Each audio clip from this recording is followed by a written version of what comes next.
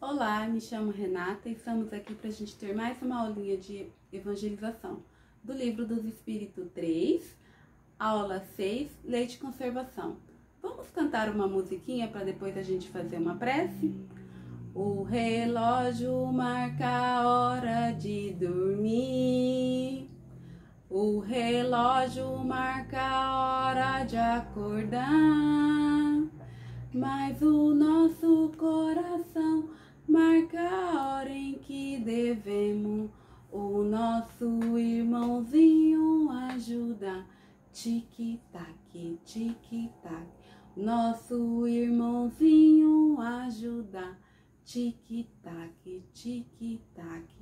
Vamos fechar os nossos olhos, agradecer a Deus por esse planeta Terra, por todos os nossos familiares. Divino Mestre Jesus, e seja conosco em nossa caminhada, seja para nós um exemplo, um guia, que assim seja. Amém.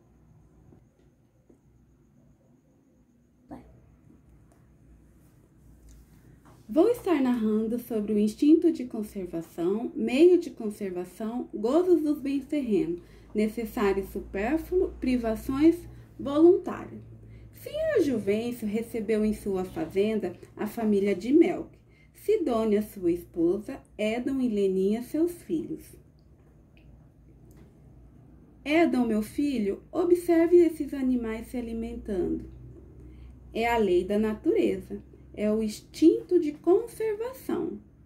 Sim, papai, todos seres possuem, qualquer que seja o grau de sua inteligência em alguns puramente maquinal, racional em outro. Maquinal em nosso cachorro, que sai de casa correndo sem olhar para os lados. Racional nos humanos, que tem que pensar no que irá fazer quando tomam algumas, algumas decisões. Andando pela fazenda, andando pela fazenda, seu Juvencio mostra sua plantação de milho. Edom fica admirado. Nossa, senhor Juvencio, o senhor trabalha muito aqui na fazenda. Sim, meu menino, Deus dando ao homem a necessidade de viver, forneceu a nós sempre os meios de conseguir. É por isso que a terra proporciona a nós os alimentos necessários e útil. Eu tenho aqui na fazenda um pedaço de terra que não produz nada. Por que, senhor Juvens? Quando eu era mais novo, não cuidei dela como deveria. Agora ela não produz. Eu, quando durmo bem, quando, dur quando não durmo bem à noite, não produzo no outro dia na escola fico cansada. Mamãe,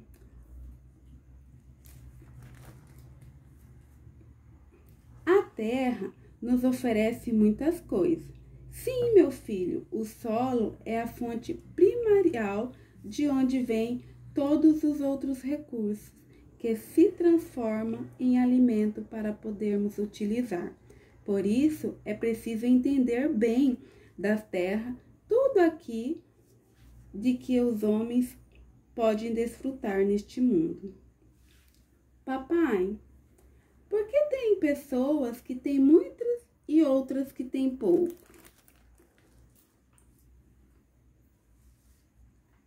Filha, somos pessoas a caminho da evolução.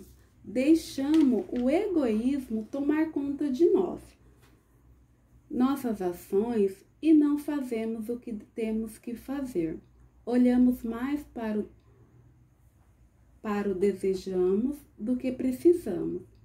Um dia fui ao mercado com a mamãe. Compramos coisas que nem utilizamos em casa. Né, mamãe? Sim, mas agora estamos esforçando para comprar o que realmente precisamos. Graças aos esforços e a filantropia e a ciência juntos para que os homens melhorem o seu estado material. Por isso, nós temos as profissões que elegem as pessoas para sua melhoria. Senhor Juvencio, um dia cheguei em casa, mamãe tinha feito um, atra... Porque... um atrativo de bolo. Ai, Edon, você é um garoto tão esperto. Qual seria o objetivo de Deus em nos permitir o atrativo dos bens materiais? Para nós exercitarmos o comprometimento dos no da nossa missão. Deus deu o atrativo do prazer, mas nós temos que ter no nossos íntimos o, de, o dever de não praticar.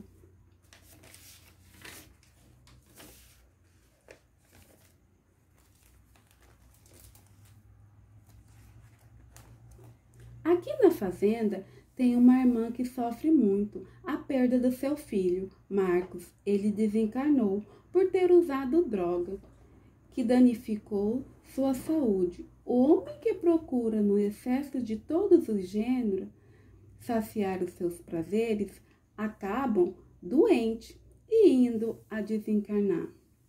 Papai? Sim, Leninha. Dona Benedita não consegue parar de fumar, já está prejudicando seu marido e filho. Minha filha, todos nós conhecemos o limite de nossos gostos, o que deixamos-nos levar por nós, nossos desejos. Temos que ser sábios, pedir ajuda médica ou um tratamento. Vou convidar ela para levar seu filho para a evangelização. Assim ela também começa a receber a orientação.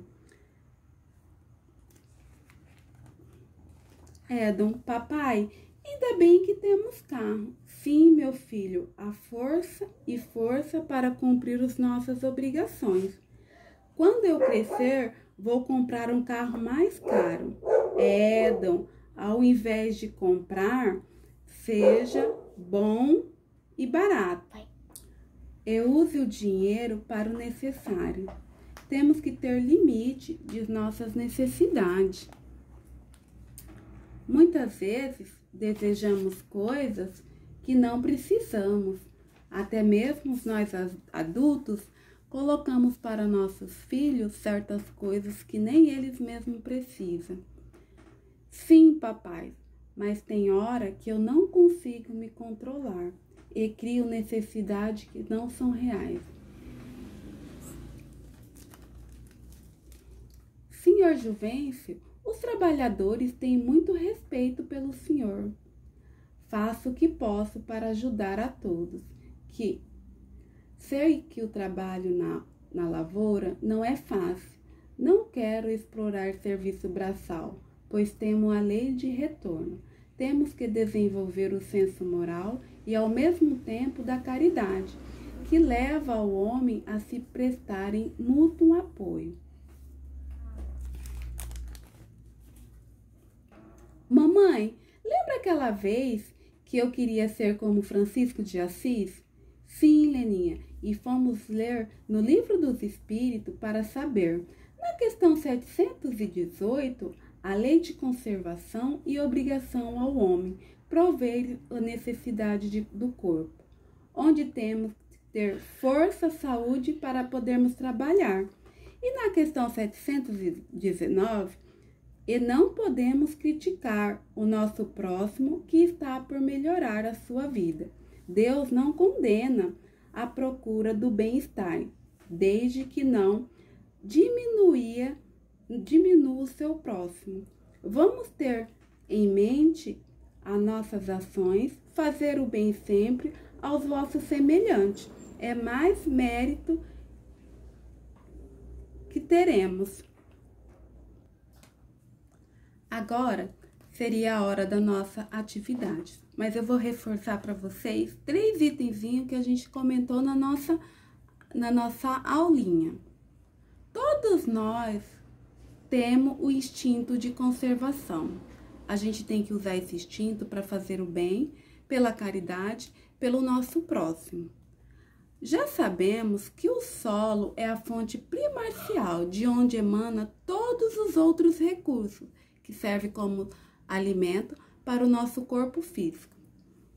Essa é a razão porque faz que a terra produz de modo proporcional o necessário, o que habitam, visto que o necessário é o útil para a nossa sobrevivência. A partir do momento que a gente for estar tá utilizando somente o necessário, nós vai, poderemos estar ajudando cada vez mais o nosso próximo. Não teremos em mente em ser ganancioso e ter mais e mais. Temos que ter amor pelo nosso solo e pelo planeta. Esteja sempre conosco. Agora eu vou contar uma historinha para vocês do nosso querido amigo Chico. Vou contar para vocês a historinha do nosso querido amigo Chico. Uma dívida paga pelo alto. José o irmão de Chico, que fora por muito tempo seu orientador e dirigia as sessões de Luiz Gonzaga, adoeceu gravemente. E sob a surpresa dos seus caros entes familiares desencarnados, deixando ao irmão o encargo de lhe amparar a família.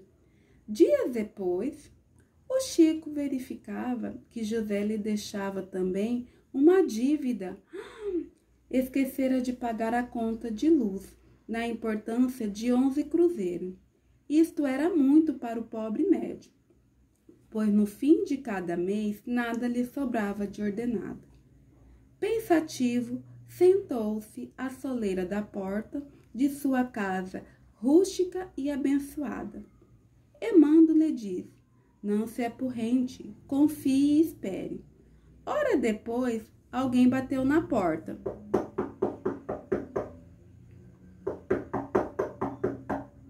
Vai ver. Era uma senhora da roça. O senhor é o senhor Chico Xavier? Sim, a suas ordens, minha irmã.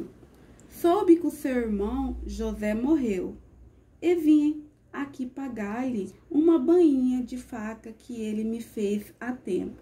E aqui está a importância do combinado. Chico agradeceu-lhe, ficando só, abriu o envelope. Dentro estava onze cruzeiros, para apagar a luz. Sorriu, descansado, livre de um peso, e concluiu para nós que, pelas lições que ganhei, e nós também para que sabemos olhar para os lírios do campo, que não teme o amanhã, porque sabe que ele pertence a Deus. Vou fazer para vocês quatro perguntinhas para vocês responderem aí mesmo, tá bom? Para vocês, nos seus mais puros sentimentos. Chico Xavier tinha a obrigação de responsabilizar pela família do seu irmão desencarnado? O que, que vocês acham, sim ou não? Não, né? Mas ele acolheu a família, né? Porque ele era uma pessoa muito caridosa. Ele tinha condições financeiras para assumir a família? Não, porque todo o salário que ele ganhava, quando chegava no final do mês, ele não tinha quase nada, né? Como ele foi auxiliado pela providência divina em relação à dívida deixada pelo irmão. Teve uma senhora que pediu para o irmão dele fazer uma bainha e não pagou no tempo certo, mas quando o irmão é, desencarnou, ela ficou sentida no coração que tinha que fazer esse pagamento e foi lá levar para o Chico, né? E Chico foi socorrido por esta benção. Como faria como você faria no mesmo lugar de Chico? Agora, nesta época que a gente está vivendo, se a mamãe ou o papai tivesse que acolher algum primo de vocês que perdesse a mãe e o pai, como que vocês iam acolher esse primo na casa de vocês? Hein? Ou algum amiguinho, como que você iam estar tá acolhendo a mãe desse nosso amiguinho, estava passando por alguma dificuldade e ele teria que ficar na nossa casa? Vocês iam estar tá ajudando, consolando? Porque foi isso que Chico fez, né? Então, deixo para vocês essa dica, tá bom? Para vocês levarem em mente, tá bom?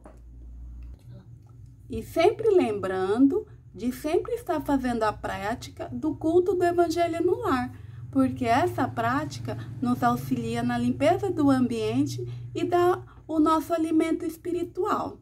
Vamos nos preparar para a nossa prece? Olá, então essa foi a nossa aula. Espero que vocês tenham gostado. Vamos fazer a nossa prece de encerramento, fechando os nossos olhos e agradecendo a Deus por esse conhecimento adquirido. Esteja conosco hoje e sempre, que assim seja. Amém.